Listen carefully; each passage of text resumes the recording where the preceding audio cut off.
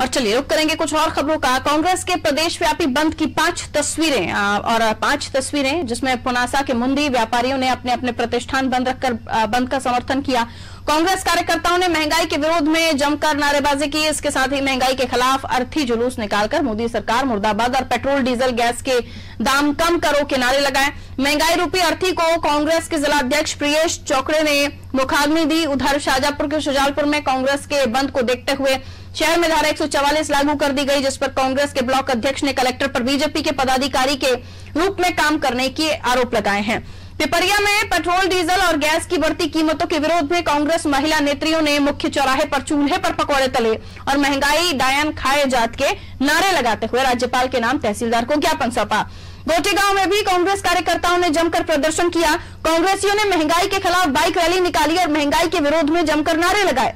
कांग्रेस नेताओं ने कहा, केंद्र सरकार महँगाई पर रोक लगाने में नाकाम है। देपालपुर में विधायक विशाल पटेल के नेतृत्व में कांग्रेस कार्यकर्ताओं ने बढ़ती महँगाई के विरोध में वाहन रैली निकाली और आम जनता से नगर बंद का आह्वान किया है।